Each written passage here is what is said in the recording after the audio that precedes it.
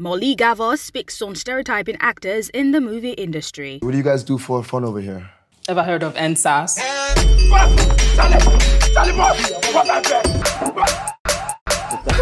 Ghanaian born TV presenter, actor, producer, and entrepreneur Mawuli Gavor, in an interview with Hip TV, speaks on stereotyping actors in the movie industry while encouraging actors in general to not reject roles because of the stereotype tag. You see, listen, you know how like people say, oh, uh, money isn't everything or money isn't going to bring you happiness. It's only people who are rich who get to say things like money isn't everything or money isn't happiness. It's the same thing for acting.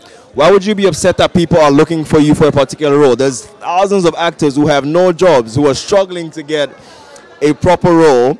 So if you have a role that people think that you're the best at, you shouldn't be upset at it. Last, last, you could take on like, hey, maybe I'm the best at it.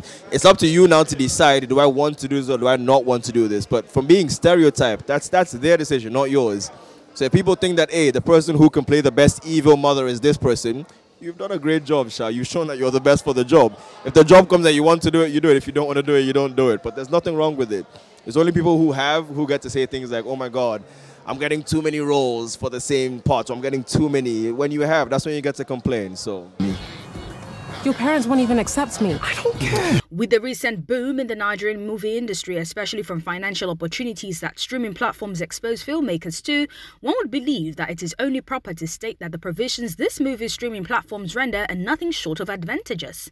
However, Mawuli Gavor advises that as much as this is true, actors and filmmakers should not get carried away by such benefits. So we have all these streaming platforms now, Netflix and the rest of them, and it's it's amazing that you're in town, but I, I wouldn't want us to get carried away because we're getting into a point of leverage where we feel like they need us more than we like. We don't we don't need anyone. That's that's the that's that's the honest truth. They need us more than we need them.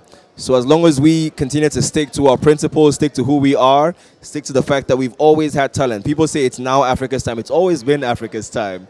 So now hopefully we get to own who we are and we, we, we put actual value on what we're offering. So it's great that all of these people are in town Netflix, HBO, from everyone who's in town. We absolutely welcome you, and we hope that you will value us the way we want to be valued because we are worth a lot. And that's all I can say. Mawuli Gavor further stated that if he has a chance to influence any part of the Nigerian movie production, he would focus on the post production, as he narrates how impressed he is with the recent set of movie productions he has been involved in, but still believes more can be done in post production process before the release of the movie. I can make any adjustments or improvements in the Nigerian film industry we would probably take more time with post production.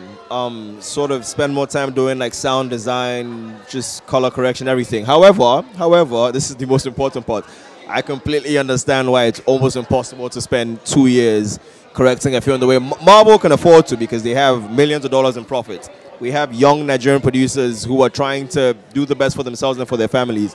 So I understand it. Um, I'm hoping for the best, and I know that things are going to get better. But I understand why we are where we are, and I know that the future is bright. So I'm, I'm hopeful, and that's all I can say.